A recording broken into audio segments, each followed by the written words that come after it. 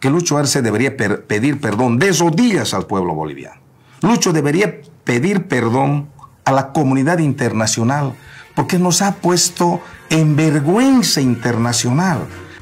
En este momento deberían estar investigados, incluso debían estar ya presos Novillo, Castillo y Marianela Prado.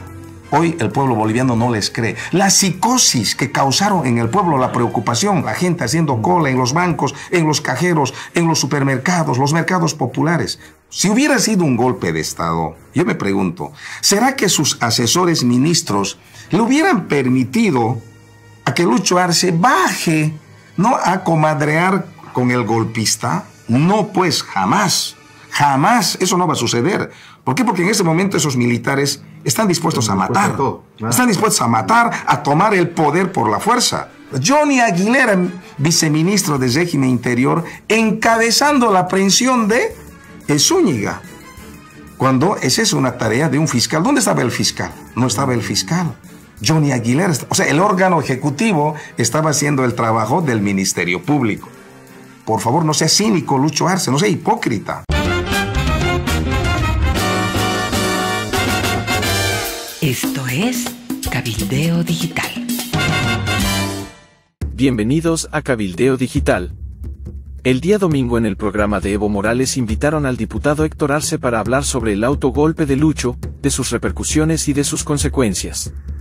Nos pareció un contenido ameno, así que le dedicamos un video entero a su participación.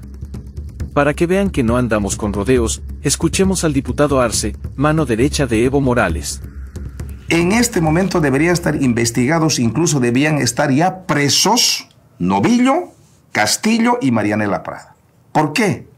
Porque estos, por incompetentes, por inoperantes y por mediocres, pusieron el riesgo de, la, de la vida de las bolivianas y bolivianos. Pusieron en riesgo los cimientos fundamentales de la democracia pusieron en riesgo el Estado de Derecho y pusieron en riesgo el orden constitucional. Porque son los ministros y ministras encargados a darle la seguridad interna, externa al pueblo boliviano. Por tanto, deberían haber sido ya destituidos si realmente fue un golpe de Estado por mediocres, por incompetentes. Prisión para Novillo, Castillo y Prada son declaraciones fuertes del diputado Evista. Una de las hipótesis más importantes del diputado Arce es que un presidente asediado por una fuerza militar jamás se hubiera permitido exponer su vida ante el peligro de un golpe militar. Como en el ajedrez, el rey es la ficha más importante del tablero, nadie ataca con el rey. No tiene ningún sentido que Arce haya bajado de la casa grande del pueblo a reñir al comandante golpista. Ahora, ¿cuáles son las hipótesis que yo tengo, Ramiro? La UTOF está a media cuadra de Plaza Murillo. Cuando hay un grupo de 10 personas que quieren manifestarse ahí, acordonan dos cuadras a la redonda. La pregunta es, ¿por qué la UTOF, que están armados hasta los dientes, esos policías ahí a media cuadra, ¿por qué no ofrecieron por lo menos la mínima resistencia? ellos tienen inteligencia alrededor de la plaza, dos cuadras, están disfrazados. Ahí está la inteligencia, yo los he visto, mm. porque algunas veces nos han seguido.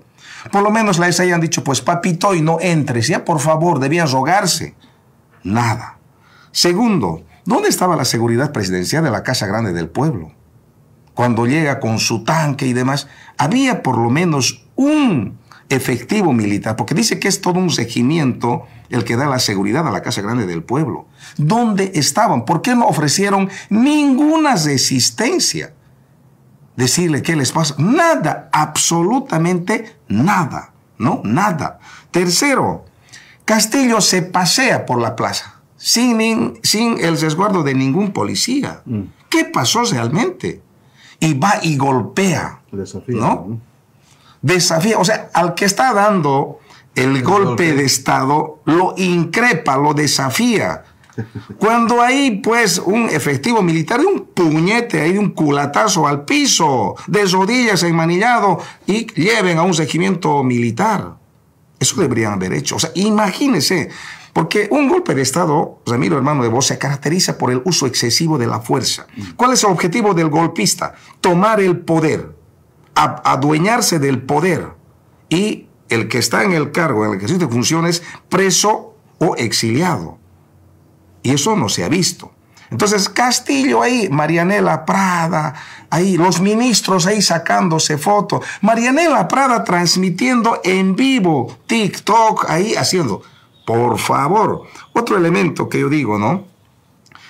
Hermano Evo, por un tema natural, por ese instinto de siempre defender la vida, eh, uno eh, toma algunos recaudos. Si hubiera sido un golpe de Estado, yo me pregunto, ¿será que sus asesores ministros le hubieran permitido a que Lucho Arce baje, no a comadrear con el golpista? No, pues jamás, jamás, eso no va a suceder. ¿Por qué? Porque en ese momento esos militares están dispuestos a matar, están dispuestos a matar, a tomar el poder por la fuerza. Sí, ahí lo veían porque están yendo a tomar la silla presidencial. Lo veían a Lucho, ya hagásenlo, manillado, llévenlo no sé dónde, lo hacen desaparecer. Pero ellos se arriesgan. O sea, exponen la vida de Lucho Arce frente al golpista. Y Lucho Arce ahí todo, ¿no? Igual como Superman, Rambo, eh, Hombre Araña, Terminator, ahí enfrentando a todo un ejército.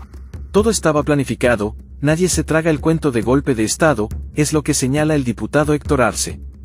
¿Quién se los va a tragar ese cuento? Nadie les va a creer. Por eso hoy Lucho Arce es objeto de burla, se mofan los niños. No, mira, yo tengo mi hijito de 8 años, está en la escuela.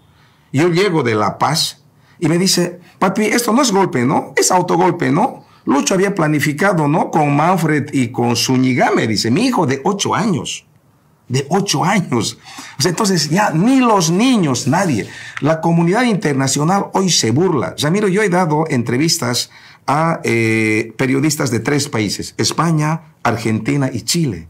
Y nadie se los traga esto. Por otro lado, Zamiro, estaban ahí todos los ministros, estaban todos los dirigentes para aplaudirle y después, todo estaba planificado, diseñado, Zamiro. El diputado Evista manifiesta que el presidente debería pedir perdón de rodillas a la población por todo el caos que generó, por toda la vergüenza internacional que debemos vivir todos los bolivianos. Que Lucho Arce debería pedir perdón de rodillas al pueblo boliviano. Lucho debería pedir perdón a la comunidad internacional, porque nos ha puesto en vergüenza internacional, ha dañado y pisoteado la dignidad del pueblo boliviano. Estabas revisando algunos golpes de Estado de solamente de Banzer, de Natush Bush, de García Mesa. Terribles esos dos golpes de Estado. Oiga, y ahora quieren que nos traguemos ese cuento de golpe de Estado. Por tanto, en base a los últimos acontecimientos, las declaraciones de Zúñiga, es definitivamente un autogolpe. Obviamente hoy ahora Lucho sale con que va a eh, meter preso, eh, van a aprender, etcétera, etcétera. Johnny Aguilera, viceministro de régimen interior, encabezando la aprehensión de Zúñiga. Cuando esa es una tarea de un fiscal. ¿Dónde estaba el fiscal? No estaba el fiscal. Johnny Aguilera, o sea, el órgano ejecutivo estaba haciendo el trabajo del Ministerio Público. Entonces, yo no me trago este cuento, no me trago, van a montar pruebas, van a fabricar pruebas para intentar aparecer. La información que yo tengo, Ramiro, es que el objetivo, el blanco, fue el hermano Evo. Eso fue el, el objetivo fundamental para venir luego acá. Para finalizar su participación, el diputado Arce le dice al presidente que es un cínico e un hipócrita, nos persiguen peor que a animales es lo que señala el diputado. Es inaceptable y vergonzoso lo que hizo el presidente Arce Catacora. Ahora, la llamadita de Lucho, por favor, yo creo que Oiga, hasta en eso Lucho Arce había pensado, ¿no? Para mostrarse humano, sensible, para mostrarse, ah, eh, la vida de Evo me interesa. Por favor, no sea cínico, Lucho Arce, no sea hipócrita. Si hoy usted y su gobierno nos persiguen a los evistas peor que a criminales, peor que a delincuentes, usted y su gobierno, Lucho Arce, estigmatiza a los evistas. Hoy nos persiguen, Ramiro hermano Evo, a los evistas peor que a la gestión de Murillo. Yo me acuerdo la frase de Murillo que decía, empiecen a coser porque los voy a cazar. Hoy Lucho Arce está haciendo eso con los evistas. Por tanto, yo no me lo trago, eso es su cuentito de que le ha llamado preocupado por la vida. Por favor. O sea, hermano Evo, un pequeño comentario. Hay tanto de qué hablar, pero por un tema de tiempo yo resumo. No es un golpe de Estado, es un autogolpe diseñado, planificado, pero le salió mal. Hoy el pueblo boliviano no les cree. La psicosis que causaron en el pueblo, la preocupación. Una señora me decía el día de ayer en Alalay, una, una hermana estaba en, ampliado en Alalay, yo me he ido a comprar un pollo con 50 bolivianos. O sea, llegó a ese extremo. Azúcar, arroz, la gente haciendo cola en los bancos, en los cajeros, en los supermercados, los mercados populares. Terrible. ¿Por qué? Porque ellos saben cómo eran los golpes de Estado. Entonces, realmente eh, es, es eh, inaceptable, vergonzoso lo que ha hecho Lucho. ¿Y tú qué piensas? ¿El presidente debería pedir perdón? La polémica está acá en Cabildeo Digital. Tenemos lo último. Lo importante,